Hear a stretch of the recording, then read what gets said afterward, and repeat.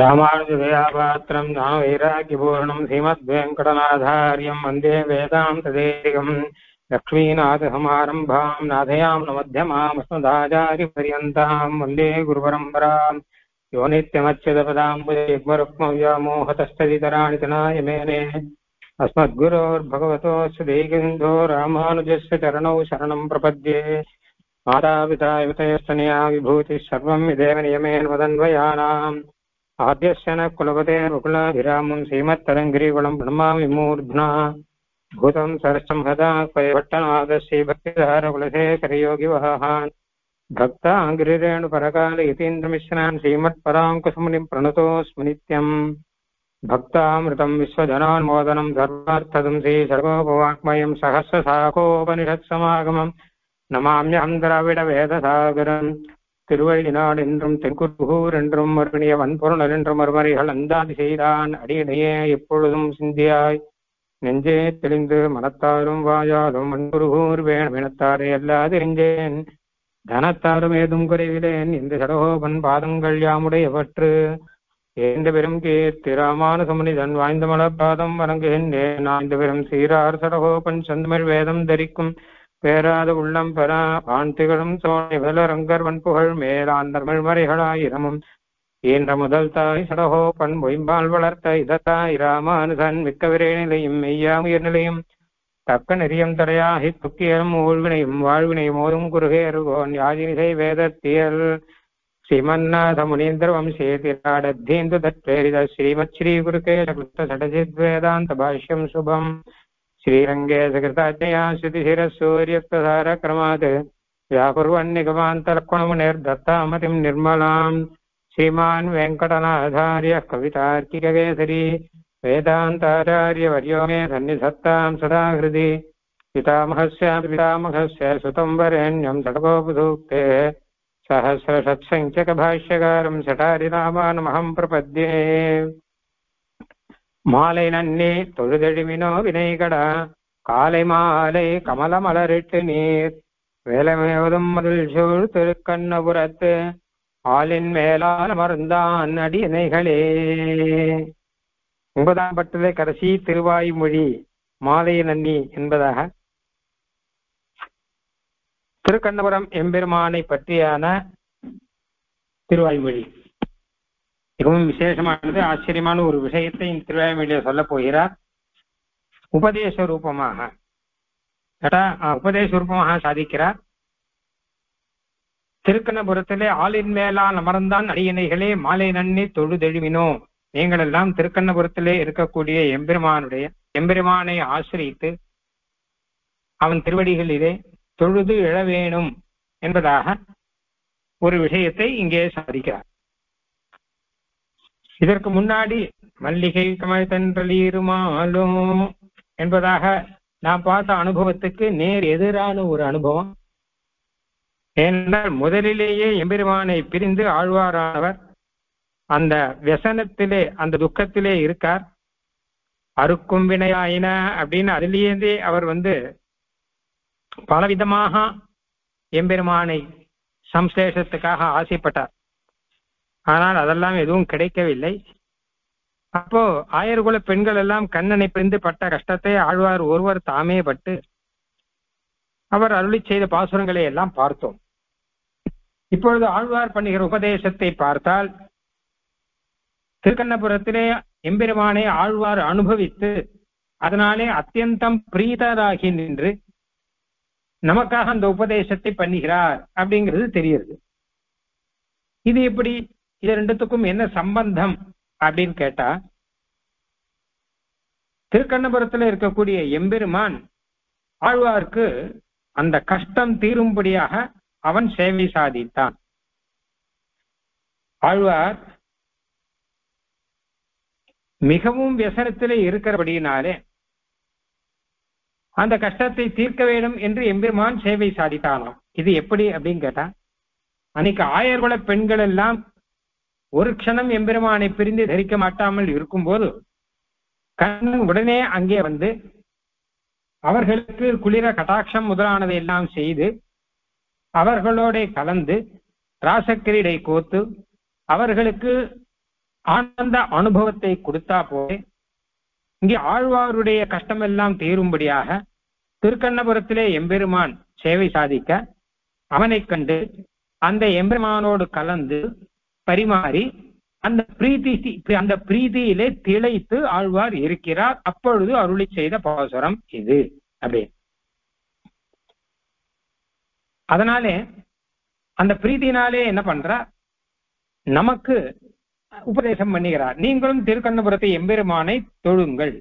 அவனை ஆசிரியுங்கள் என்று பிரீத்தி பிரகர்ஷத்தாலே பரோபதேசம் செய்கிறார். அப்படின்னு. ரொம்ப பிரீத்தி அதிகமானா நான் இந்த மாதிரி சந்தோஷப்பட்டேன். உங்களுக்கும் சொல்றேன் நீங்களும் ஆனந்தமா இருங்கோ என்று சொல்வோம் அல்லவா? அந்த மாதிரி ரீதியிலே ஆழ்வார் சொல்லுகிறார். இப்போ பிள்ளானுடைய சீசுத்தி என் சொல்லி உய்வன் இங்க அவனை விட்டு என்று கிடந்து அலச் செய்தேன். அவனும் பசுமேய்த்து வந்து புகுத அவர்கள் அவனோடு கலந்து பரிமாறினா போலே.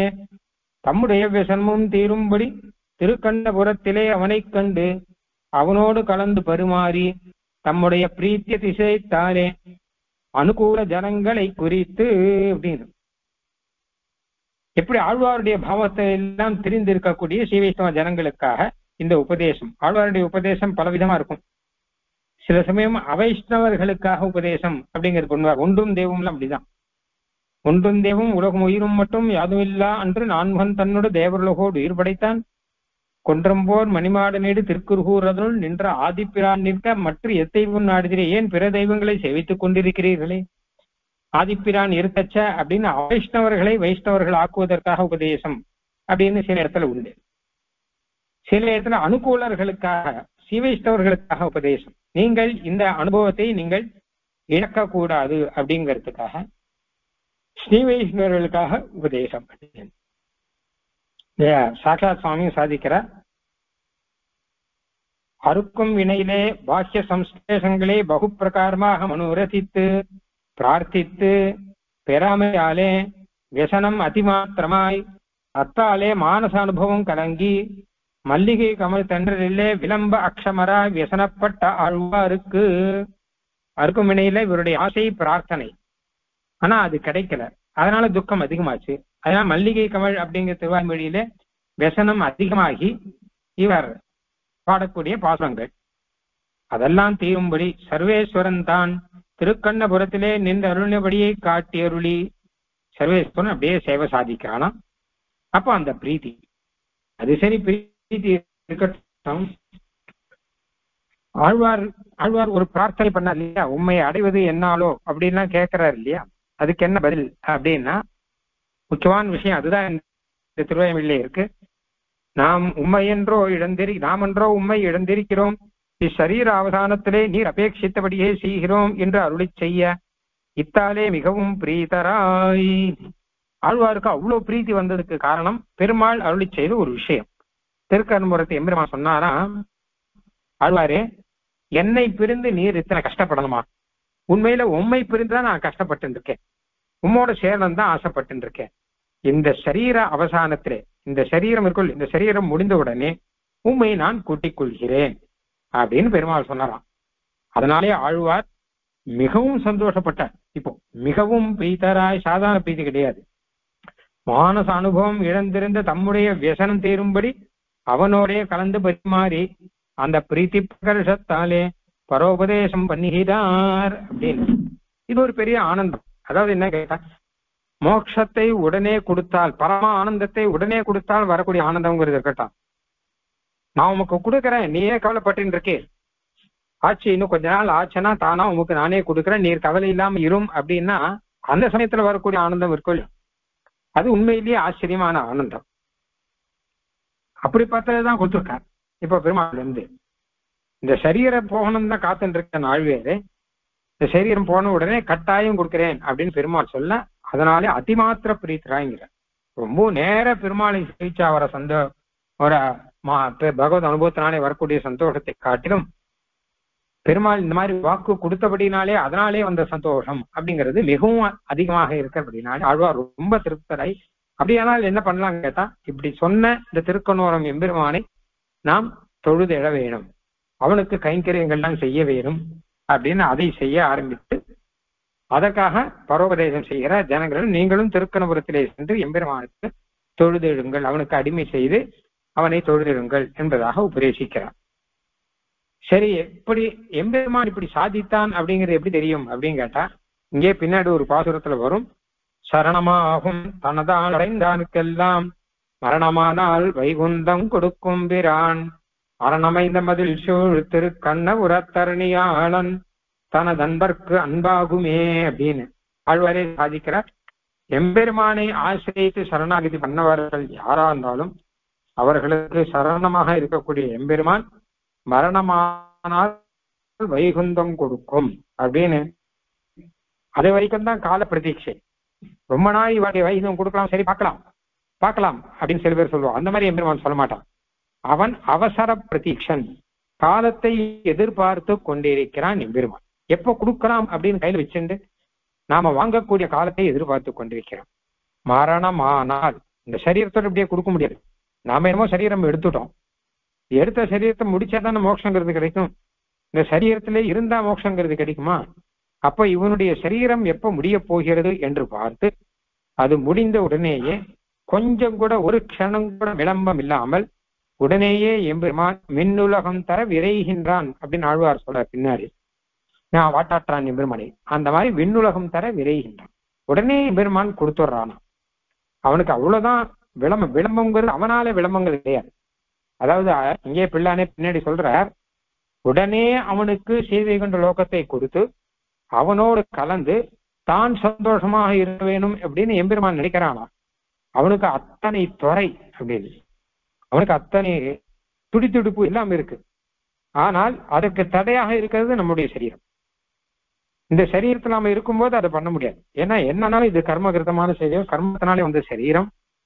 இந்த கர்மம் போனாதான் இந்த மோட்சங்கிறது கிடைக்கும். இல்லாட்டா கிடைக்காது. அதனால பகவான் என்ன பண்றான் அது வரைக்கும் நான் காத்திருக்கிறேன். உனக்கு மோட்சம் கொடுக்கும் காலத்தை நான் எதிர்பார்த்து கொண்டிருக்கிறேன் அப்படிங்கிறானா? இதுதான் அவசர பிரதீட்சா அப்படின்னு சொல்றது. அவசர பிரதீட்சான சமயத்தை எதிர்பார்த்து கொண்டிருப்பவன் அப்படின்னு அர்த்தம். நம் நினைவால் நாம் இசையும் காலம் இன்றோ நாளையோ என்று நகை செய்கின்றானே அப்படின்னு தேசிய பிரபந்தத்திலே சுவாமி சாதிக்கிறார். நாம் இசையும் காலம் இன்றோ நாளையோ நீங்கள் இன்னைக்கு இன்னைக்கே வரதான் கூட வாங்குவோம். இந்த சரீரத்தை விட்டுட்டு வருவதற்கு நீங்கள் தயாரா? இந்த சரீரத்தை விட்டு வருவதற்கு நீங்கள் தயாரானால் உடனே கொடுக்கிறேன். ஆனால் நம்மை போல இருப்பவர்கள்லாம் இந்த சரீரத்தை விட்டுட்டு வரதுக்கு தயார் கிடையாது நாமெல்லாம். ஏதத் தேக அவசானே மாம் தொற்பாதம் ஸ்வயம் சரீரத்தின் முடிவுல நாங்க வரோம். அடுத்த ஜென்மம் ஒண்ணு வேண்டாம். தயவு பண்ணி அதை மாத்திரம் கொடுத்துட வேண்டாம். அப்படின்னு தான் நாம பிரார்த்திக்கிறோம். ஆக நாம் இசையும் காலம் நாம் எந்த காலத்தை நாம் அங்கீகரிக்கிறோங்கிறது தான் வித்தியாசமே தவிர அவனாலே விளம்பம் அப்படிங்கிறது கிடையாது. அவன் சமயத்தை எதிர்பார்த்து கொண்டு காத்து கொண்டிருக்க உண்மையில பார்த்தோன்னா எம்பெருமான் எப்போ மோட்சம் கொடுப்பான் நாம எதிர்பார்த்துட்டு இருக்கணும். ஆனா இங்க கதை வேற மாதிரியா இருக்கு. மோட்சம் கொடுக்கறான் அவன் அவன் எதிர்பார்த்தா நாம எப்போ வரப்போறோம் நாம எப்போ வரப்போறோம் அப்படின்னு சொல்லி நாம் இசையும் காலம் நாம் அங்கீகரிக்கும் காலம் எந்த காலத்திலே எம்பெருமானிடம் போவதற்கு நாம் சம்மதிப்போம் அப்படின்னு நம்முடைய சம்மதத்தை எம்பெருமான் எதிர்பார்த்து கொண்டிருக்கிறான். அதனால அவசர பிரதீட்சத்துவம் அப்படிங்கிற எம்பெருமானுடைய குணமானது இந்த திருவாய்மொழியிலே தெரிகிறது. அவசரம் அப்படி தமிழ்ல அவசரம்னா அர்த்தம் வேற. சம்ஸ்கிருதத்துல அவசரம்னா காலம் அப்படின்னு அர்த்தம். பிரதீட்சம்னா எதிர்பார்ப்புன்னு அர்த்தம். காலத்தை எதிர்பார்த்து கொண்டிருக்கிறான். நமக்கு மோட்சம் கொடுக்கும் காலத்தை எம்பெருமான் எதிர்பார்த்து கொண்டிருக்கிறான். அப்படிங்கிறது முக்கியமான விஷயம். நமக்கு மோட்சம் கிடைக்கும் காலத்தை நாம் எதிர்பார்த்து கொண்டிருக்கிறோம். எப்போ மோட்சம் கிடைக்குமோ மோட்சம் கிடைக்குமோ அப்படின்னு எதிர்பார்த்து கொண்டிருக்கிறோம் இருந்தா பரவாயில்ல. ஆனால் நமக்கு மோட்சம் சித்தம்.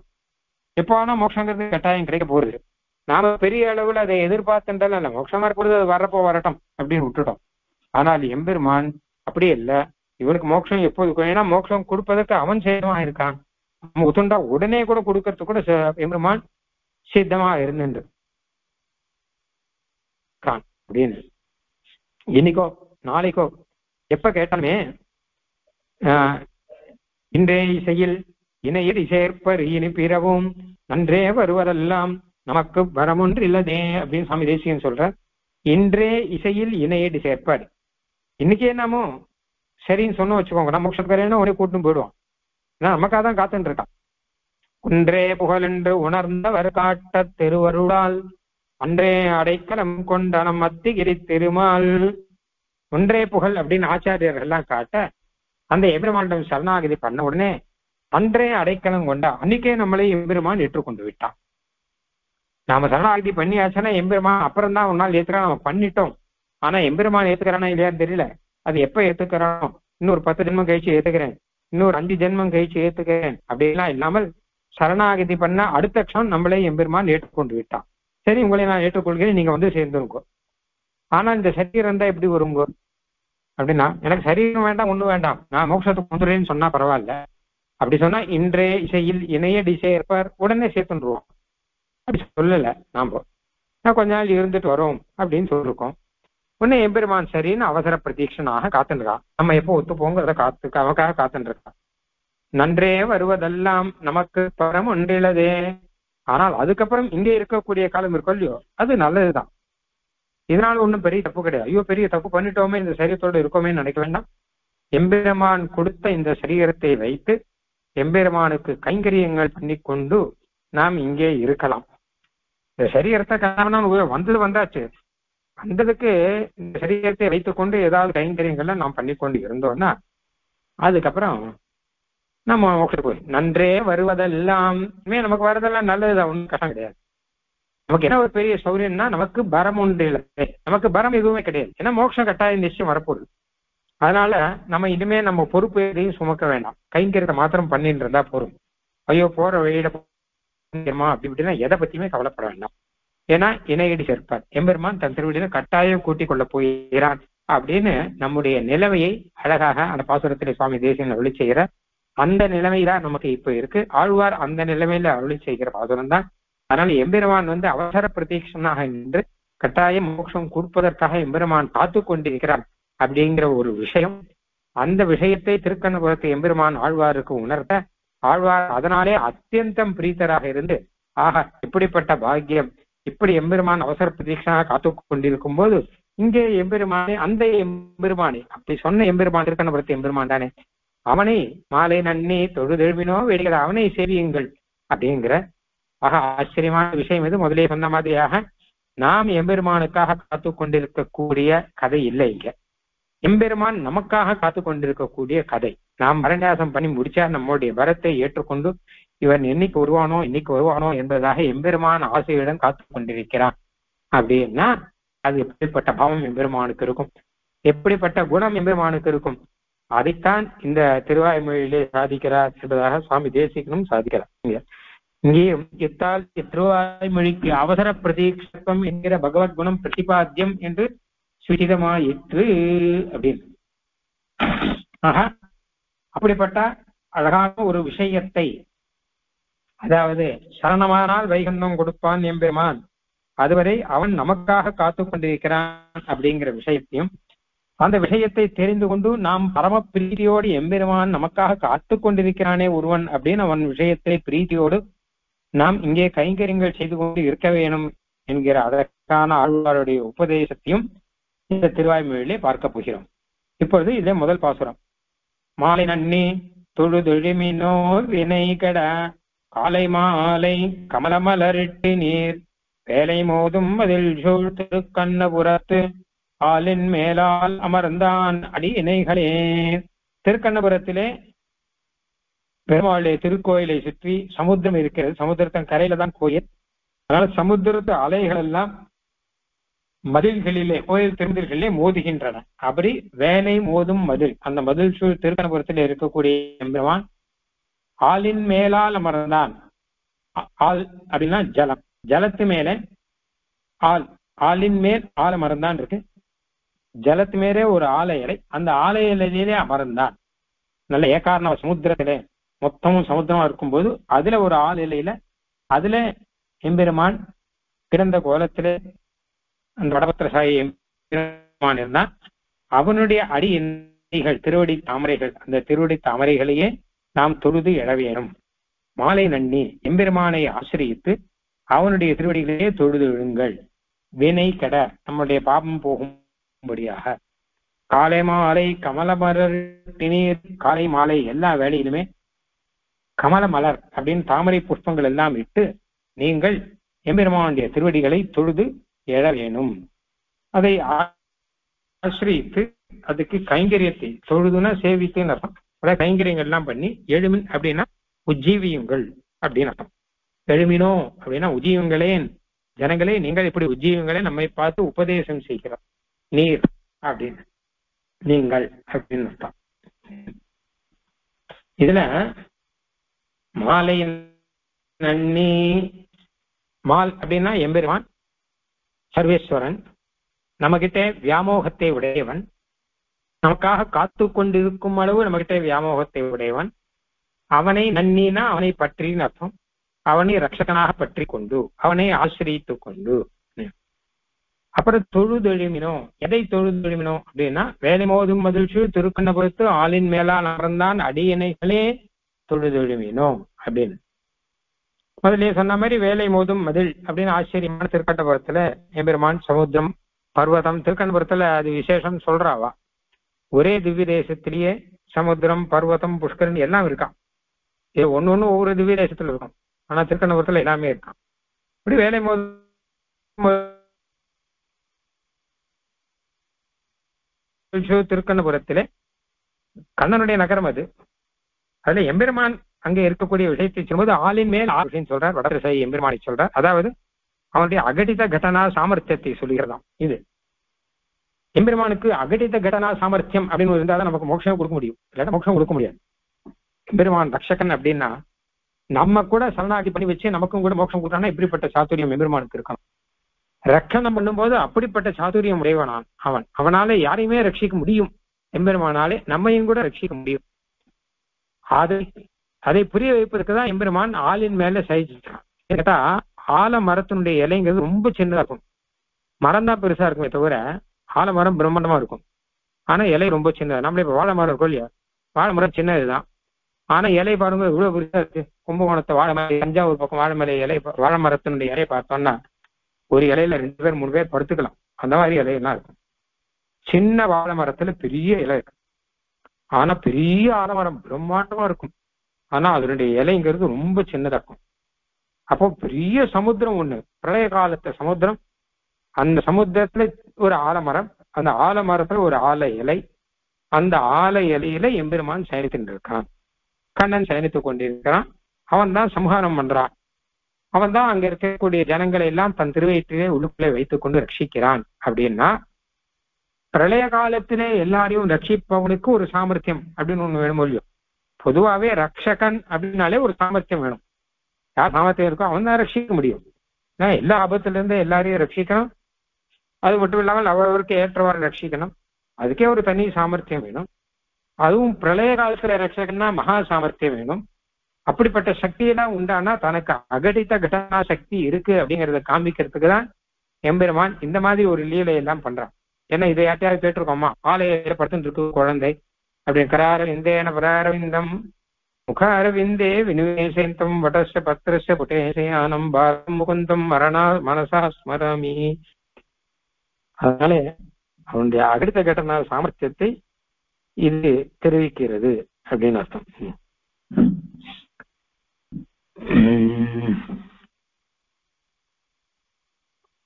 ஆளின் மேல் ஆள் அமர்ந்தான் அடியினைகளே. அப்படிப்பட்ட இந்த சாட்சா சுவாமி சொல்றார் வடதளத்திலே கண் வளர்ந்தருளின் அவனான ஆசிரித லட்சணம் உபயுக்தமாக அகடித கடனா சக்தியை சூச்சிப்பித்தபடி எப்படி வேணாலும் ரக்கணம்னா எப்படி வேணாலும் எம்பெருமானம் செய்ய முடியும்? எதை வேண்டுமானாலும் நடத்த காட்ட முடியும்? அப்படிங்கறத காமிக்கிறது தான் அது. சகல லோகத்தையும் சுருக்கி தன் திருவயிற்றிலே வைத்தவன் பின்னாடி மொத்த லோகத்தையும் விரித்து சிருஷ்டி பண்ண போறான் அப்படின்னு வரும். அவனுடைய அடி இணைகள் ஆனா திருவடி இரண்டு இரண்டு திருவடிகள் இணையாக இருக்கக்கூடிய இரண்டாக இருக்கக்கூடிய அடி இணைகளை தொழுது எழுமினோ அதை தொழுது ஏழுங்கள் அப்படிங்கிற தொழுதுனா சேர்க்கின அர்த்தம்.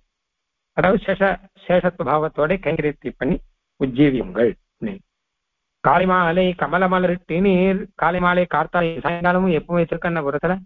காத்தாலையும் சாயங்காலமும் கமல மலர் புஷ்பங்கள்லாம் கொண்டு வைத்து நீர் நீங்கள் அப்படின்னு அர்த்தம். இந்த நீங்கள் அப்படின்னா எம்பெருமானை ரட்சகனாக பற்றி இருக்கக்கூடிய நீங்கள் அப்படின்னு. சம்சார துக்கத்தை தாண்டி போக வேணும் என்று ஆசைப்படுகிற நீங்கள். சம்சார துக்கத்தை தா- தா- சம்சார துக்கத்தை தவிர்த்து உங்களுக்கு மோட்சம் தெரிகிறேன் அப்படின்னு எம்பெருமான் அருளி செய்ய அதனாலே ஆஸ்வாசத்திலே இருக்கக்கூடிய நீங்கள் இந்த காரியத்தை செய்யுங்கள். எம்பெருமானுக்கு காலை மாலை கமலம் எடுத்து சமர்ப்பியுங்கள். வினை கட வினை கடன்னா பாப்பம் கடன்னு அர்த்தம் கிடைக்கும். ஆனா பாப்பத்தை போக்கி மோட்சத்திலேன்னு எம்பெருமான் சொல்லிட்டானே. அதனால இப்ப வினை கடன்னா துக்கம் போகும்படியான அர்த்தம். அதாவது ஒரு இடம் ஒரு காரியம் பண்ணியிருக்கோம் ஒரு விதத்தை பார்த்தா. என்ன கேட்டா மோட்சம் போகணும்னு ஆசை இருக்கு. ஆனா சம்சாரத்துல இருந்துட்டு இருக்கோம். இந்த சரீரத்தை விட்டுட்டு உடனே மோட்சம் போறதுக்கும் தயாரா இல்லை ஆனா மோட்சம் போகவும் கேட்டு சம்சாரத்துல இருந்துட்டே இருக்கணும். ஆனா மோட்சமும் வரணும் அப்படின்னு ஆசைப்படுறோம் ஒரு மாதிரியா இருக்கு. அப்ப என்ன கஷ்டம் அப்படின்னு கேட்டா சம்சாரத்துல சாம்சாரிக்க துக்கங்கள்லாம் இருக்கும். இந்த துக்கங்கள்லாம் போகணும். மோட்சம்னு ஒண்ணு போயிட்டான்னா சாம்சாரிக்கு துக்கங்கிறது கிடையவே கிடையாது. பகவத் அனுபவம் ஆனந்தம் மட்டும்தான். இங்க இருந்தா சாம்சாரிக்கு துக்கம் தவிர்க்க முடியாது. அப்ப என்ன பண்ண முடியும் அப்படிங்கிறா?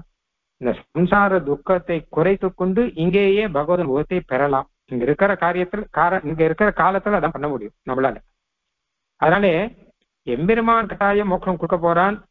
மரணமானா வைகுந்தம் கொடுக்கும்கிறான் அதனால இருக்கிறபடியினாலே இருக்க நாம் இருக்கக்கூடிய காலத்திலே நம் வினை கெட நம்முடைய சம்சார துக்கங்கள் எல்லாம் போகும்படியாக திருக்கணவரத்து எம்பெருமானிடம் கைங்கரியங்கள் செய்யுங்கள் அப்படின்னு அர்த்தம்.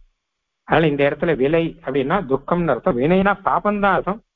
துக்கங்கிறது லட்சணையா கிடைக்கிற அர்த்தம் சாதிக்கிறாங்க சாட்சி அதாவது இந்த இடத்துல பாப்பங்கிற அர்த்தம் பொருந்தாது. அதனால பாப்பத்தானே வரக்கூடிய துக்கம். சம்சார துக்கம் அர்த்தம். சம்சாரத்தில் இருப்பவர்களே நீங்கள் சம்சாரத்தில் இருந்து கொண்டே எம்பெருமான் திருவடியை ஆசிரியத்து மோட்சம் கிடைக்கும் என்பதாக ஒரு வாக்குறுதியை பெற்று ஒரு நம்பிக்கையை வைத்து இருப்பவர்களே எம்பெருமானால் அருளப்பெற்றவர்களே மரணமானால் வைகுந்தம் கிடைக்கும் என்பதாக அந்த ஒரு நினைவிலே இருக்கக்கூடியவர்களே நீங்கள் இருக்கும் காலம் இந்த சரீரத்தை ஒத்துக்கொண்டு விட்டீர்கள் சம்சாரத்தை ஏற்றுக்கொண்டு விட்டீர்கள். இந்த காலத்தில் சம்சார துக்கம் போகும்படியாக திருக்கண்ணுபுரத்தி எம்பெருமான் அடையிலே காலை மாலை கமலமலர்த்து நீர் இறங்கி வினோம் இல்ல அவனை தொழுது விடுவினோம் என்பதாக சாதிக்கிறார். அதுக்கப்புறம் முக்கியமான விஷயம் காலை மாலை அப்படின்னு இருக்கு. கார்த்தாலையும் சாயங்காலமும் அப்படின்னு அர்த்தம். அப்ப ரெண்டு வேளை போய் கைங்கரியம் பண்ணணுமா? காத்தாலையும் சாயங்காலம் பண்ணணுமா? சாயங்காலம் எப்ப பண்ணணும்? ராத்திரி பண்ணலாமா? இல்ல சாயங்காலமே பண்ணலாமா? மாலைனா ராத்திரின்னு கூட ஒரு அர்த்தம் உண்டு. அப்படியா? கார்த்தாலை எப்ப பண்ணணும்னா அதெல்லாம் இல்ல. எப்பவுமே பண்ணலாங்கிறதுக்கு தான் காலை மாலை அப்படின்னு காலை மாலைனா காலை மாலையும் அப்படின்னா எந்த சமயத்தில் வேணுமானாலும் நீங்கள் பெருமானுக்கு கைங்கரியம் செய்யலாம். இதுக்கு ஒரு கால நியமம் இல்லை என்கிறார் அப்படின்னு பிள்ளாருடைய ஸ்ரீசுக்தி. அதாவது சர்வ சமாசிரியனாய் கொண்டு திருக்கண்ணபுரத்திலே எழுந்தருளியிருந்த எம்பெருமானை ரட்சகனாகப் பற்றி அவன் திருவடிகளை கவனமலரிட்டு நீர் வினைகட தொழுதிடுமின் இதுக்கு ஒரு கால நியம அபேட்சையும் இல்லை என்கிறார். இதை செய்வதற்கு இந்த காலத்துல செய்யணும்? அப்படிங்கிறது கிடையாது. காலா மாலை எப்ப வேணா செய்யலாம் அப்படிங்கிற அர்த்தத்தில் இங்க காலை மாலை வந்திருக்கு. காலை மாலைன்னா சில சமயம் கால நியமம் சொல்லும்.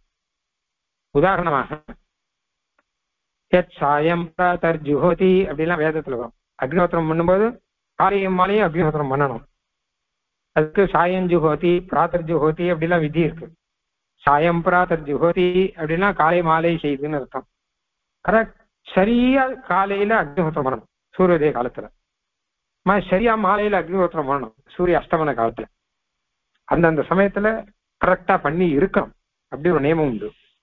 அந்த மாதிரியாக இப்போ ஒன்னொன்றுக்குமே கால நியமம் அப்படிங்கிறது உண்டு. சந்தியாவந்தனம்னா அதுக்கு கால நியமம் உண்டு. காத்தால மத்தியானம் சாயங்காலம். பிரம்மயஜனா அதுக்கு கால நியமம் உண்டு. உதித்தே சூரியே அப்படின்னு வரும். சூரியன் உதிச்சப்புறம் சந்தியானம் பண்ண அப்புறம் தான் பிரம்மயஜங்கிறது பண்ணணும். அப்படி மாத்தியானிகனா அதுக்கு கால நியமம் உண்டு. வித்யா காலம் அப்படின்னா அதுக்கு ஒரு காலம் அப்படின்னு ஒன்று சொல்லலாம். எல்லாத்துக்குமே ஒரு காலம் கொள்ளியோ திருக்கண்ணபுரத்து எம்பெருமானை அவன் திருவடிகளை தொழுதேட. மாலை நன்னினா எம்பெருமானை ஆசிரியத்து அப்புறம் தொழுது எழுமின் அப்படின்னு சொன்னா அவனை சேவித்து கைங்கரியம் பண்ணி அப்படின்னு அர்த்தம் சாதிக்கிறார்.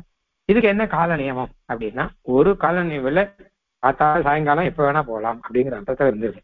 எப்ப செய்யலாம்? எப்ப வேணா இருக்கலாம். காத்தாலே சாயங்காலம் எப்ப போனாலும் சேவிக்கலாம் அப்படின்னு சொல்றோம் இல்லையோ அந்த மாதிரி அர்த்தம். இங்க காலை மாலைன்னு வந்திருக்கு. அதனாலதான் இதுக்கு ஒரு கால நியமம் இல்லை என்கிறார் அப்படின்னு. காலை மாலை சாட்சா இது உபலட்சணம் உங்களுக்கு கூடின ஏதேனும் ஒரு காலத்திலே என்றபடி காலை மாலைன்னு சொல்லி காத்தால சாயங்காலம் அர்த்தத்துல இல்ல. உபலட்சணம் ஏதாவது ஒரு காலத்துல அப்படிங்கிற அர்த்தத்துல இது வந்திருக்கு. மாலை நன்னி தொழுதெழுமினோ விடைகள? காலை மாலை கவல மலரிட்டு நீர். வேலை மோதும் மகிழ்ச்சி திருக்கண்ணபுரத்து. ஆலின் மேல் ஆலமர்ந்தான் அடியினைகளே சர்வ காலத்துக்கும் உபலட்சணம் எல்லா காலத்துக்கும் எப்ப என்ன சொல்லலாம்னு அர்த்தம். இதுக்கு உதாரணமா கூட ஒண்ணு சொல்றேன் பிராத்தர்நிஷி ததா சந்தியா மத்தியான்னாதிஷம் ஸ்மரன் நாராயணம் அவாப்னோதி சத்திய பாபக்ஷயான் நரஹா அப்படின்னு ஒரு வாக்கியம் சாட்சா கார்த்தாலையோ சாயங்காலமோ எப்பவும் நாராயண நாமத்தை சொல்லிட்டு இருந்தால் பாபம் போகும் அப்படின்னு அர்த்தம்.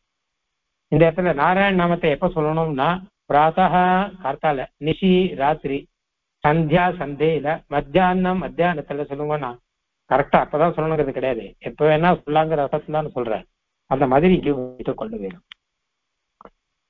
கள்ளவிடும் மலரிட்டு நீரெறிஞ்சுமின் நள்ளி சேரும் வயல் சூழ் கிடங்கின் புடை வெள்ளிய இந்த மதில் சூழ் திருக்கண்ணபுரம் உள்ளே நாளும் தொழுது எழுமினோ தொண்டரே. இந்த திருக்கண்ணபுரத்துல எம்பெருமான் வெள்ளி வெள்ளியைந்த மதில் சூழ் சுக்கரன் மேல சுக்கன் இருக்காள் ஆகாசத்துல. சுக்ரன் வரைக்கும் பரவி இருக்கக்கூடிய மதில்கள் சூழ்ந்த திருக்கண்ணபுரத்தை அந்த எம்பெருமானை உள்ளே மனசாலை நினைத்து எப்பொழுதுமே தினமுமே தொழுது எழுமின். அவனை சேவித்து கைங்கரியங்கள் செய்து உஜ்ஜீவியுங்கள்.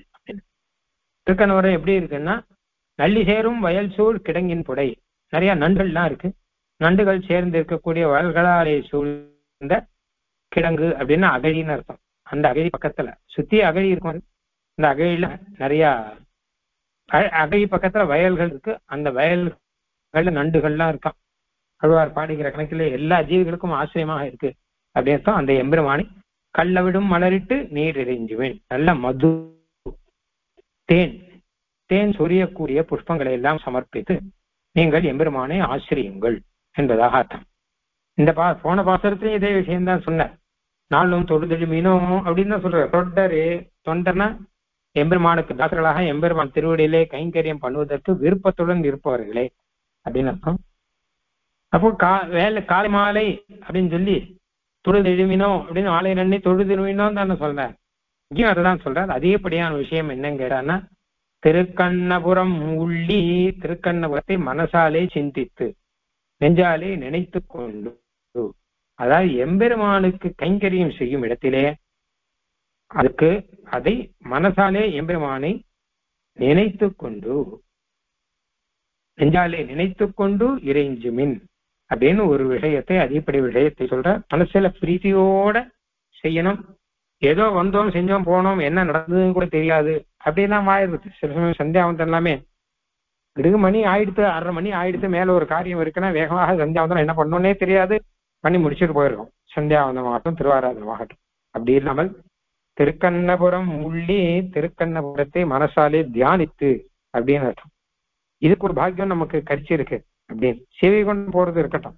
இங்கே இருந்து திருக்கண்ணபுரத்திலே காலை மாலை கமல மலரிட்டு இறைஞ்சுவதற்கும் அந்த மாதிரியாக கள்ள விழும் மலரிட்டு நீர் இறைஞ்சுவேன் அப்படின்னு சொல்லும்படியாக கள்ள விழும் மலரிட்டு எம்பெருமானை நாம் ஆசிரியப்பதற்கும் நமக்கு ஒரு பாக்கியம் கிடைத்திருக்கிறது. அதற்காக எம்பெருமான் திருக்கண்ணபுரத்திலே வந்து எழுந்துள்ளானே நமக்காக அப்படின்னு அதையெல்லாம் நினைத்து பார்த்து அவனுக்கு கைங்கரியம் செய்யுங்கள் அப்படிங்கிற ஒரு விஷயத்தை இந்த வாரத்தில் அருளி செய்கிறார். அதனால பிள்ளானுடைய சீசுத்தி கள்ள விழும் அவன் திருவடிகளை கள்ள விழும் மலரிட்டு நீர் இறைஞ்சும் இடத்தில் அவற்றை நெஞ்சாலே நினைத்து கொண்டு நாளும் இறைஞ்சுவன் என்கிறார். அவன் திருவடிகளிலே நம் கைங்கரியம் செய்யும் போது மனசாலே அதை தியானித்துக் கொண்டு கைங்கரியம் செய்ய வேணும் அப்படிங்கிற விஷயம் இந்த பாசத்துல அர்த்தம் பார்க்கும்போது கள்ளவிடும் அலரிட்டு நீரெறிஞ்சும் கல்னா தேன் அவிழும்னா சொரிகிற அப்படின்னு அர்த்தம். தேன் சொரிந்து கொண்டிருக்கிற மலர் புஷ்பங்களை இட்டு சமர்ப்பித்து நீர் இறைஞ்சுவின் தொண்டர்களாக எம்பெருமானிடம் கைங்கரியம் பண்ணுவதற்கு இப்போது சித்தமாக இருக்கக்கூடிய நீங்கள் அப்படி எம்பெருமானை ஆசிரியுங்கள். நள்ளி சேரும் வயல் சூழ் கிடங்கின் புடை நள்ளி அப்படின்னா பெண் வண் பெண் நண்டுகளுக்கு நள்ளின்னு பேராம். வயல்ல ஜலத்துல நண்டுகள்லாம் இருக்கும். நண்டுன்னு சொல்றோம். அதே பெண்ணா இருந்தா நள்ளி அப்படின்னு பெயரா. அப்புறம் நள்ளி சேரும் வயல் அப்படின்னா நிறைய நள்ளிகள்லாம் நண்டுகள்லாம் நிறைய இருக்கு அந்த வயல்ல.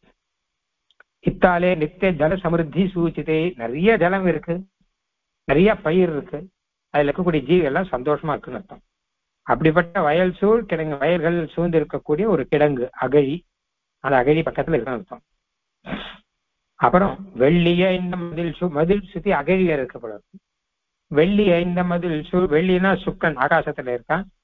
ஏ இந்தன சமீபத்தில் வெள்ளியை தொட்டு கொண்டு இருக்கக்கூடிய மதில் சூழ் திருக்கணம் திருக்கணத்து மதில்னா அத்தனை உசரமாக இருக்கும் திருக்கண்ணபுரம் உள்ளி திருக்கண்ணபுரத்தை உள்ளி திருக்கண்ணபுரத்தை சிந்தித்து. நாளும் தொழுதெழுமினோ தொண்டரே நாளும் தான் முன்னாடி சொன்ன மாதிரி காலை மாலை. எப்ப வேணா சொல்லலாம். எல்லா சமயத்திலும் அவனை தொழுது அப்படின்னு இந்த பாசுரத்துல திருக்கண்ணபுரம் உள்ளின்னு தான் இருக்கு. ஆனா பிள்ளான் வியாக்கியானம் பண்ணும்போது எம்பெருமான் திருவடிகளை நெஞ்சாலையை நினைத்து கொண்டு அப்படிங்கிற அது திருக்கண்ணபுரம் மட்டுமல்ல. அதாவது சாட்சாத் சுவாமி திருக்கண்ணபுரம் அது இது அஜகல் லட்சணை அவ்வூரிலே எழுந்தரிலிருக்கிற எம்பெருமான் திருவடிகளை என்றபடி அப்படின்னு திருக்கண்ணபுரம்னா திருக்கண்ணபுரத்துல இருக்கிற எம்பெருமான்ற அர்த்தத்துலதான் ஆழ்வார் சொல்லியிருக்கார். அந்த எம்பெருமான் திருவடிகளை தியானித்து எம்பெருமான் திருவடிகளுக்கு கைங்கரியம் செய்யும் போது அந்த திருவடிகளை தியானித்து புஷ்பத்தை சமர்ப்பியுங்கள். அப்படின்னு பொதுவாகவே எதை எப்பொழுது சமர்ப்பித்தாலுமே அதை தியானம் பண்ணிட்டு சமர்ப்பிக்கணும்னு ஒரு வழக்கம் வேதத்தில் உண்டு. யாகத்தெல்லாம் கூட ஹோமங்கள்லாம் பண்றோம் முடியும் நெய்யினாரே அப்பெல்லாம் அந்தந்த மந்திரம் அந்தந்த மந்திரத்துக்கு தேவதை எல்லாம் உண்டு. அப்ப எந்த தேவதையை யாங்களோ தான் மனதா தியாய்ன்னு தான் வரும். மன பிரஜாபதி மனதாத்தியாயன் அப்படிலாம் வரும். அரசனாலே அவரை தியானம் பண்ணிக்கணும். அந்த தேவத்தையை தியானம் பண்ணிட்டு அப்படிதான் அதை சமர்ப்பிக்கணும் அப்படிதான் கணக்கு. பொதுவாகவே எல்லா இடத்துலயும் அப்படிதான் ஒரு கணக்கு. அப்புறம் சரி சொன்னான எம்பெருமானி தியானம் பண்ணிட்டு இப்ப ஆதார சக்தி தர்ப்பணமும் இல்ல தேவ ரிஷிப்பித்து தர்ப்பணம் முதலானதெல்லாம் பண்ணும்போது சர்வேஸ்வரனான எம்பெருமானே மனசால தியானம் பண்ணிட்டு பண்ணுங்கோ அப்படின்னு தான் பாஷ்யக்காரர் சாதிச்சுக்கிறார். நித்தியத்துல. அதே மாதிரி கைங்கரியம் எது பண்ணும்போது எம்பெருமானுடைய திருவடிகளை தியானம் பண்ணி கொள்ள வேணும். நினைத்து கொண்டே பண்ண வேணும் அப்படின்னு அர்த்தம். நாளும் தொழுது வேணும் அப்படிங்கிறது முன்னாடி சொன்ன காலை மாலை அப்படிங்கிறதுக்கு அர்த்தம். அதாவது இதுக்கு கால நியமங்கள் கிடையாது. எப்பொழுது வேணுமா நாளும் தான் தினமும் மாத்த அர்த்தம் இல்லை. எல்லா வேலையிலும் அப்படிங்கிற அர்த்தத்திலேயே வந்திருக்கு. தினமும் தினம்னா தினமும்னு அர்த்தம். அதாவது இந்த வாரத்துல இன்னைக்கு போகலாம் திங்கட்கிழமையா செவ்வாய்க்கிழமையா அப்படின்னா கேட்கக்கூடாது. திச்சாதி கால நியமம் இல்லை அப்படிங்கிற இதுக்கு திதி இந்த திதியில போகணும்னோ இந்த கிழமையில போகணும்னோ கிடையாது. அதெல்லாம் கூட சில வைதிக கிரமங்களுக்கு உண்டு இல்லையோ. இந்த திதியில பண்ணணும் இந்த திதியில பண்ணக்கூடாதுன்னு எத்தனையோ உண்டு இல்லையா? இப்ப இன்னைக்கு கிரகணம். இப்ப கிரகண காலத்துல பண்ண வேண்டியது அப்படின்னு சிலதெல்லாம் இருக்கு. பௌர்ணமியில அமாவாசையில பண்ண வேண்டியது அப்படின்னு சிலதெல்லாம் இருக்கு. பௌர்ணமியில அமாவாசையை தவிர மீதி நாள்ல பண்ணக்கூடாதுன்னு சிலது சமுத்திர ஸ்நானம் அதெல்லாம். பௌர்ணமி அமாவாசையை தவிர மீதி நாள்ல பண்ணக்கூடாது அப்படின்லாம் இருக்கு. கிரகணத்துல பண்ணலாம். அப்படிலாம் இருக்கு. அந்த மாதிரி நியமங்கள்லாம் கிடையாது. என்னைக்கு வேணா சேவிக்கலாம். எப்ப வேணா சேவிக்கலாம் போன பாசத்துல வந்து. என்னைக்கு வேணாலும் சேவிக்கலாம் இந்த பாசத்துல இருந்துன்னு வச்சுக்கலாம். கள்ளவிடம் மலர் நீர் நீரெறிஞ்சு வெண் அள்ளி சேர்க்கும் வயல் சூழ் கிடங்கின் புடை. வெள்ளிய ஐந்த மதில் சூழ் திருக்கண்ணபுரம் உள்ளி ஆளும் தொழுதெழுமினோ தொண்டரே. தொண்டர் நந்தம் துயர் போக நீரேகமாய். விண்டுவாடா மலரிட்டு நீரெறிஞ்சு வெண். அண்டு பாடும் பொழில் சூழ் திருக்கண்ணபுர தண்டவாணன். அமரர் பெருமானையே தொண்டர்களே உங்களுடைய சம்சார துக்கம் போகும்படியாக நீர் எம் நீங்கள் எம்பெருமானையே நினைத்துக்கொண்டு நன்கு மலர்ந்த வாடாத மலர்களை இட்டு அவனை பிரார்த்தியுங்கள் வண்டு பாடும் பொழில் வண்டு பாடிக்கொண்டிருக்கக்கூடிய பொழில் சூழ்ந்து திருக்கண்ணபுரத்து அண்டவானம் சகல அண்டங்களையும் பிரண்ட பிரம்மாண்டங்களையும் நிர்வாகம் செய்யக்கூடிய பிரம்மாண்ட அறிவுத்தியான எம்பெருமான் அமரர் பெருமான் எத்தையூரின் நாயகன்? அவனை நீங்கள் வண்டுவாடா மலரிட்டு விண்டுவாடா மலரிட்டு நீர் எறிஞ்சுமின் விண்டுனா மலர்ந்து வாடாதனா வாடாத மலரிட்டு நீர் எறிஞ்சுமின் என்பதாக அர்த்தம். இங்க இந்த பாசுரத்துல அதிகப்படியாக சொன்ன விஷயம் என்ன அப்படின்னு கேட்டான்னா திருக்கண்ணபுரத்திலே எழுந்தருளி இருந்த மனுக்கு அனன்ய பிரயோஜனராய் கொண்டு அடிமை செய்யுங்கள் என்கிறார். வேற பிரயோஜனம் எதுவும் எதிர்பார்க்காமல் அவனுக்கு கைங்கரியம் செய்யுங்கள். கைங்கரியம் செய்து என்ன மாசம் என்ன சம்பளம் கிடைக்கும் கேட்காதுங்க. இது பாசுரத்துல நீர் ஏக்கமாய் அப்படின்னு இருக்கு தொண்டர் நுந்தம் துயர் போக நீரேக்கமாய் விண்டு வாடாமலரிட்டு நீரெறிஞ்சு மின். நீர்னா நீங்கள் ஏகமாய் அப்படின்னா ஒன்றாகவே ஒரே மாதிரியாகவே விடாமல் அப்படின்னு அர்த்தம். விடாமல் இதே பண்ணும். ஏகம் அப்படின்னு சொல்லுவோம் இல்லையோ? ஏகப்பட்ட காரியம் இருக்குன்னு சொல்லுவோம் இல்லையோ? ஏகப்பட்ட காரியம்னா என்ன அர்த்தம் கேட்டோம்னா ஒரே காரியமே அத்தனை விடாமல் இருக்குன்னு அர்த்தம். அந்த மாதிரி. அவிச்சின்னமாய் அனன்ய பிரயோஜனமாய் அப்படின்னா அதுக்கு அர்த்தம் சாதிக்கிற வேற பிரயோஜனம் எதிர்பார்க்காமல். ஏன்னா பிரயோஜனம் எதிர்பார்த்தா வச்சுக்கோங்க. அப்ப பிரயோஜனம் கிடைச்ச உடனே அது முடிஞ்சு விடும் நம்மளுக்கு நம்மளே ஏதோ ஒன்று ஸ்ரீமத் ராமாயணம் சேவிக்கணும் ஒரு பிரயோஜனம் கிடைக்கணும். நம்ம ஸ்ரீமத் ராமாயணம் சேவிச்சோம். அந்த பிரயோஜனம் கிடைச்சாதுன்னா ராமாயணத்தை நிறுத்திடுவோம். அவ்வளவுதானே? அந்த மாதிரியாக ஒரு பிரயோஜனத்துக்காக கைங்கரியம் பண்ணுபவர்கள் அந்த பிரயோஜனம் கிடைத்தவாறே அந்த கைங்கரியத்தை விட்டு விடுவார்கள். ஆனா பிரயோஜனம் இல்லாமல் எம்பெருமானுடைய பிரீத்திக்காக கைங்கரியம் பண்ணுவார்கள் ஏகமாய் கைங்கரியம் பண்ணுவார்கள். விடாமல் கைங்கரியம் பண்ணுவார்கள் அப்படின்னு அர்த்தம். அதைத்தான் இங்க ஆழ்வார் பிரார்த்திக்கிறார். விடாமல் கைங்கரியம் பண்ணுங்கள்னு. அதாவது என்ன அர்த்தம் கேட்டா பிரயோஜனத்தை எதிர்பார்த்தா விட்டுடுவோங்க அதனால பிரயோஜனத்தை எதிர்பார்க்காமல் அனன்ய பிரயோஜனராய் நின்று கைங்கரியம் செய்யுங்கள் அப்படிங்கறதை சாதிக்கிறார் சர்வேஸ்வரனாய் அயர்வரும் அமரர்கள் அதிபதியாய் இருந்து வைத்து சர்வ சமாசயனிய நாகைக்காக திருக்கண்ணபுரத்திலே எழுந்துருள் இருந்த உனக்கு அனன்ய பிரயோஜனராய் கொண்டு அடிமை செய்யுங்கள் என்கிறார். இங்க ரெண்டு விஷயம் எம்பெருமானுக்கு மூணு விஷயம் சொல்லிருக்க. ஒன்னு சர்வேஸ்வரன் ரெண்டாவது அயர்வரும் அமரர்கள் அதிபதி மூணாவது நாம் அவனை ஆசிரிக்க வேணும் என்பதற்காக திருக்கண்ணபுரத்திலே எழுந்துருளி இருந்தவன் அப்படின்னு. இதுல சர்வேஸ்வரன் அப்படிங்கிற இந்த பாட்டுல எங்க தெரியுதுன்னு கேட்டனா அண்டவாணன் அமரர் பெருமானையே அண்டவாணன்னா பிரம்மாண்டங்களை எல்லாம் நிர்வாகம் செய்யக்கூடியவன் அப்படின்னு அர்த்தம். அதனால இங்கே சர்வத்துக்கும் ஈஸ்வரனாக இருக்கக்கூடியவன் அப்படிங்கிற அர்த்தம் கிடைக்கிறது. அண்டங்களுக்கு லீலா விபூதிக்கு நிர்வாகன் அர்த்தம். அமரர் பெருமான் அப்படின்னா நித்திய சூரிகளுக்கு நாயகன் அப்படின்னு சொன்னபடினால அந்த நித்திய விபூதிக்கு நாயகனா இருக்கான் அப்படிங்கிற அர்த்தம் அர்த்தம் கிடைக்கிறது. அதனால சர்வேஸ்வரனாய் அயர்வரும் அமரர்கள் அதிபதியாய் அப்படிப்பட்ட எம்பெருமான் நமக்காக திருக்கணபுரத்துக்கு வந்திருக்கான்ங்கிற மூணாவது. ஏன்னா சர்வேஸ்வரனாகவும் திப்திசூரிய நாயகனாக இருக்கிறவன் நம்முடைய கைங்கரியத்தை ஏற்றுக்கொள்வதற்காக இங்க திருக்கணபுரத்திலே வந்து இருக்கும் பொழுது அப்ப அவனுக்கு அனநிய பிரயோஜனராய் கைங்கரியம் செய்யுங்கள் அப்படின்றது மூணாவது. அப்படி அயர்வரோமர்கள் அதிபதியாய் இருந்து வைத்து சர்வ சமாசிரியனிய நாகைக்காக திருக்கண்ணபுரத்திலே எழுந்தருளி இருந்தவன். தொண்டர் நுந்தம் துயர் போக நீர தொண்டர். தொண்டர்களே பகவத் கைங்கரியம் செய்வதில் ஆசையுடன் இருக்கும் தொண்டர்களே நுந்தம் துயர் போக உங்களுடைய சம்சார துக்கங்கள் எல்லாம் போகும்படியாக நீர் ஏகமாய் விடால் அரண்ய பிரயோஜனாய் கைங்கரியத்தை விடாதபடியாக விண்டு வாடா மலரிட்டு விண்டு மலர்ந்து வாடா வாடாமல் இருக்கிற மலரிட்டு புஷ்பங்களை சமர்ப்பித்து அந்த புஷ்பங்கள் மலராத புஷ்பங்களா இருந்தா சுவாரஸ்யம் இல்லை. வாடின புஷ்பமா இருந்தாலும் சுவாரஸ்யம் இல்லை. மலர்ந்து இருக்கணும் வாடாம இருக்கணும். அன்னைக்கு மலர்ந்து வாடாமல் இருந்த புஷ்பம் தான் உண்மையிலேயே அழகா இருக்கும். அதோட விண்டு வாடா மலர்ந்து இருக்கணும். ஆனால் வாடாமல் இருக்கலாம் அப்படிப்பட்ட மலர்ந்து மலர்களை சமர்ப்பித்து நீர் இறைஞ்சுவின் நீங்கள் ஆராதியுங்கள். எம்பெருமானை வண்டு வாடும் பொழில் சூழ் திருக்கண்டவரம் போன பாட்டுல வெள்ளி இது சொன்ன நல்லி சேரும் வயல்னு. இப்போ பொழில் சொல்ற அந்த பொழில வண்டுகள் எல்லாம் பாடிக்கொண்டிருக்கான் அதனால வண்டு பாடும் பொழில் சூழ் திருக்கண்ணபுரத்து அண்டவானன் அமர பெருமானையே இந்த இடத்துல நீர் இறைஞ்சுவின் அப்படின்னு வச்ச அதுலயும் ஒரு விஷயம் இருக்கு. நீங்கள் இறைஞ்சுவின் அப்படின்னா அவனை ஆசிரியங்கள் அர்த்தம். இந்த நீங்கள்ங்கிறது முன்னாடி வந்துருது. தொண்டர்நுந்தம் துயர் போக நீர் இயக்கமாய் நீங்கள் அவிச்சின்னமாக மிண்டுவாடா மலரிட்டு நீர் எறிஞ்சுவேன் நீங்களாக அவனை பிரார்த்திங்கள் ரெண்டு இடத்துல நீர் நீர்னு வந்திருக்கு.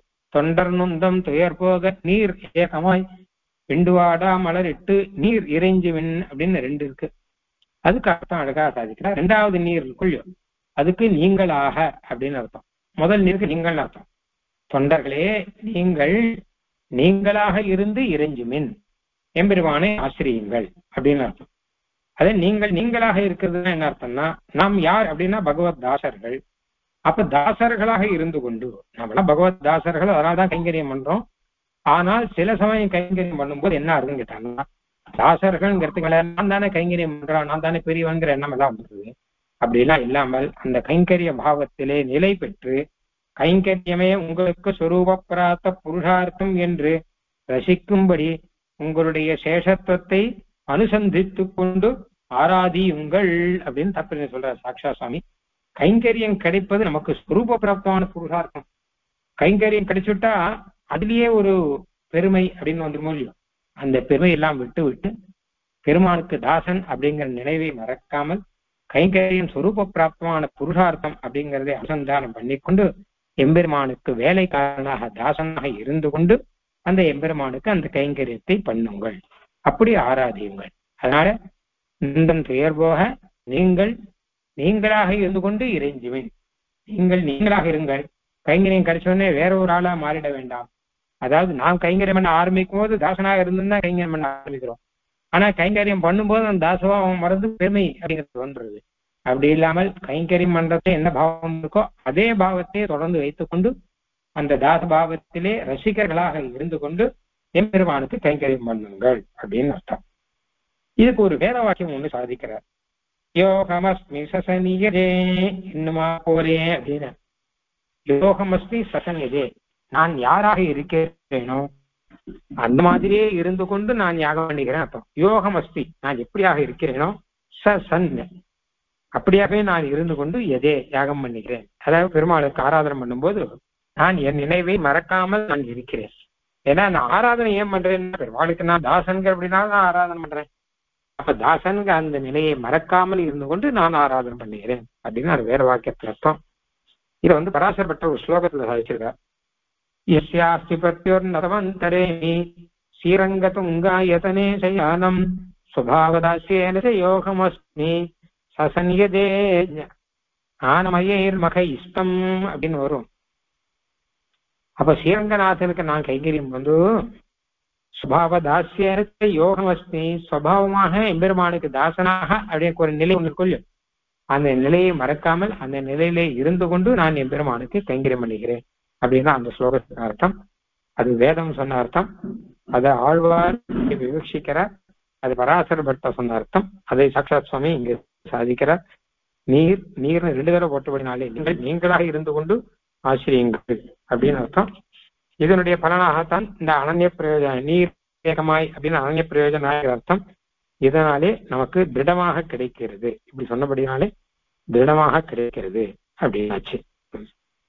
இப்போ இதுல தேவடோபுர தாத்பரியத்னாவளி ஸ்லோகம் சர்வசிரேஷ்யாத் स्वकीयैरपि जगदवनात् अण्डषण्डाधिपत्यात् नीलायावल्लभत्वात् अमृतवितरणात् भक्तसुस्निग्धभावात् दासानाम् सत्यभावात् अतिसुजनतया अथो जगत्कारणत्वात् श्रीमान् वेलाप्रतीक्षः பவபயஹரணே சேத்யபானீச்சதாரிஹி ஸ்ரீமானான எம்பெருமான் வேளா பிரதீட்சா வேலையை எதிர்பார்க்கிறான் தமிழ்ல வேலை ரெண்டா அந்த பிரியள்ளை வேலைனா சமயம்னு அர்த்தம் சமயத்தை எதிர்பார்த்து கொண்டு நமக்கு மோட்சம் தருவதற்கான சமயத்தை எதிர்பார்த்து கொண்டு எப்பொழுது நமக்கு சரீரம் முடிய போறதோ எப்பொழுது மோட்சம் கொடுத்து அவனை கூட்டிக் கொள்ள போகிறோமோ என்பதாக பெருமான் காத்து கொண்டிருக்கிறாங்கிற விஷயம்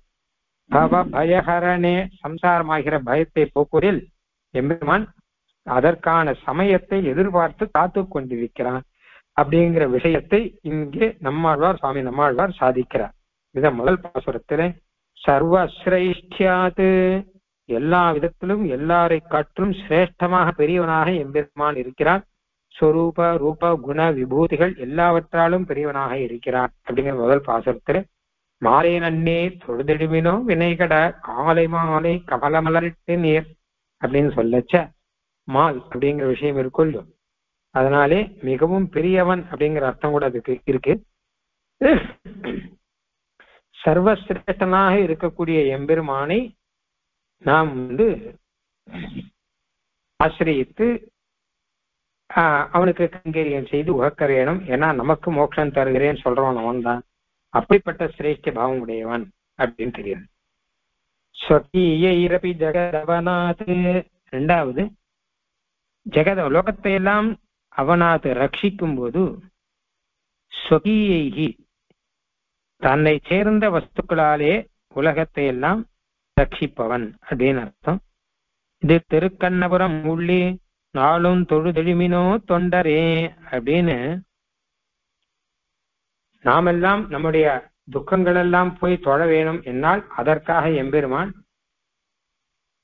நம்மை ரட்சிக்கிறான். ரட்சிக்கும் போது தன்னுடைய தன்னை சேர்ந்த திவ்ய தேசம் உதாரணத்தை கொண்டு திவ்ய தேசம் அந்த திவ்ய தேசத்திலே இருக்கக்கூடிய திருமேனி அங்கே இருக்கக்கூடிய கைங்கரியவரர்கள்